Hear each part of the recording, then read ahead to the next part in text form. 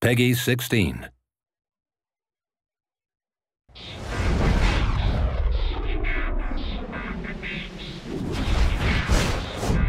Hi, I'm Sean Ramjagsingh, and I'm here to talk about Anticipation AI in NHL 12.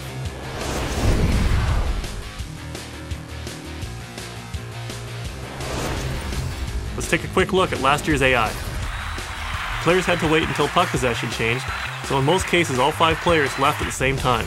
As you can see in this example, Ovechkin doesn't transition to offense until his teammate touches the puck. We all know that that's not how Ovechkin plays in real life, as he's an offensive-minded player. In NHL 12, you can see that Ovechkin recognizes that his teammate is going to retrieve the puck first. He's already transitioning to an offensive state, and he's expecting a pass to put himself in a great position.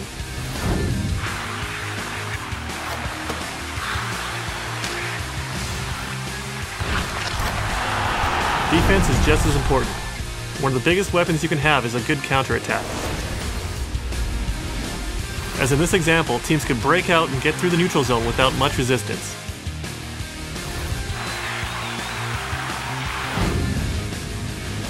In NHL 12, good defensive forwards like Zetterberg can anticipate where the puck is going to be and can take away those opportunities to counterattack. Thanks for checking out the all-new Anticipation AI. Be the next great legend in NHL 12. EA Sports, it's in the game.